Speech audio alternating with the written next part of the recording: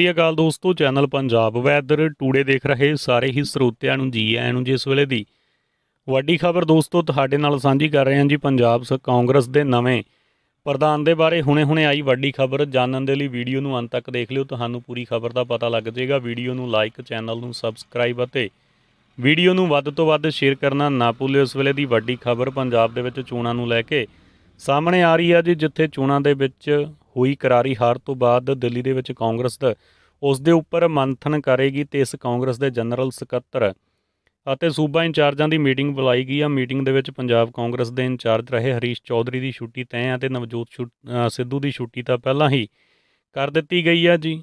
ਇਸ ਦੇ ਨਾਲ ਹੀ ਸਿੱਧੂ ਦੀ ਜਗ੍ਹਾ ਤੇ ਕਾਂਗਰਸ ਦਾ ਨਵਾਂ ਪ੍ਰਧਾਨ ਮਿਲ ਸਕਦਾ। ਸੋਨੀਆ ਗਾਂਧੀ ਪਹਿਲਾਂ ਹੀ ਅਸਤੀਫ ਸੀ, ਆਪਣੀ ਸੀਟ ਤੋਂ ਅਸਤੀਫਾ ਦੇ ਚੁੱਕੀ ਹੈ ਜੀ ਸਿੱਧੂ ਦੀ ਥਾਂ ਤੇ ਲੁਧਿਆਣਾ ਤੋਂ ਸੰਸਦ ਮੈਂਬਰ ਰਮਨੀਤ ਬਿੱਟੂ, ਕਾਦੀਆਂ ਤੋਂ ਵਿਧਾਇਕ ਪ੍ਰਤਾਪ ਸਿੰਘ ਬਾਜਵਾ, ਸਾਬਕਾ ਡਿਪਟੀ ਸੀਐਮ ਡੇਰਾ ਬਾਬਾ ਨਾਨਕ ਤੋਂ ਵਿਧਾਇਕ ਸੁਖਜਿੰਦਰ ਸਿੰਘ ਰੰਦਾਵਾ ਤੇ ਗਿੱਦੜਬਾਹਾ ਤੋਂ ਵਿਧਾਇਕ ਅਮਰਿੰਦਰ ਸਿੰਘ ਰਾਜਾ ਵੜਿੰਗ ਪ੍ਰਧਾਨ ਦੇ ਅਹੁਦੇ ਦੇ ਦਾਅਵੇਦਾਰ ਹਨ। ਇਸ ਦੇ ਨਾਲ ਹੀ ਪੰਜਾਬ ਕਾਂਗਰਸ ਦੇ ਸਾਬਕਾ ਪ੍ਰਧਾਨ ਸੁਨੀਲ ਜਾਖੜ ਵੀ ਦਾਲ ਆ ਸਕਦੇ ਨੇ। ਹਾਲਾਂਕਿ ਪ੍ਰਿਅੰਕਾ ਗਾਂਧੀ ਦੀ ਚੱਲੀ ਤਾਂ ਸਿੱਧੂ ਨੂੰ ਦੁਬਾਰਾ ਪ੍ਰਧਾਨ ਬਣਾਇਆ ਜਾਵੇਗਾ। ਪੰਜਾਬ ਦੇ ਵਿੱਚ ਕਾਂਗਰਸ ਦੀ ਹਾਰ ਲਈ ਜ਼ਿੰਮੇਵਾਰ ਅਜੇ ਤੱਕ ਕਿਸੇ ਨੇ ਨਹੀਂ ਲਈ ਮੁਖੀ ਹੋਣ ਕਾਰਨ ਸਿੱਧੂ ਦਾ ਇਹ ਤਰਕ ਹੈ ਕਿ ਇਹ ਚੋਣਾਂ ਚਰਨਜੀਤ ਚੰਨੀ ਦੀ ਅਗਵਾਈ ਵਿੱਚ ਲੜੀ ਗਈ ਸੀ। ਸੋਨੀਆ ਗਾਂਧੀ ਨੂੰ ਭੇਜੇ ਅਸਤੀਫੇ ਦੇ ਵਿੱਚ ਉਹਨਾਂ ਨੇ ਸਿਰਫ ਸੋਨੀਆ ਗਾਂਧੀ ਦੀ ਇੱਛਾ ਦਾ ਹਵਾਲਾ ਦਿੱਤਾ। ਸਿੱਧੂ ਖੁਦ ਅੰਮ੍ਰਿਤਸਰ ਪੂਰਬੀ ਤੋਂ ਆਪਣੀ ਸੀਟ ਹਾਰ ਗਏ ਸਨ ਤੇ ਆਮ ਆਦਮੀ ਪਾਰਟੀ ਦੀ ਮਨਜੂਤ ਕੌਰ ਤੋਂ ਉਹ ਹਾਰ ਗਏ ਸਨ ਤੇ ਪੰਜ ਸੂਬਿਆਂ ਦੇ ਵਿੱਚ ਪੰਜਾਬ ਦਾ ਠੀਕ ਪੰਜਾਬ ਅਜਿਹਾ ਸੂਬਾ ਜਿੱਥੇ ਕਾਂਗਰਸ ਸਰਕਾਰ ਨੂੰ ਵਾਪਸੀ ਦੀ ਉਮੀਦ ਸੀ, ਪਰ ਉੱਥੇ ਵੀ ਉਹਨਾਂ ਦੀ ਵਾਪਸੀ ਨਹੀਂ ਹੋ ਸਕੀ।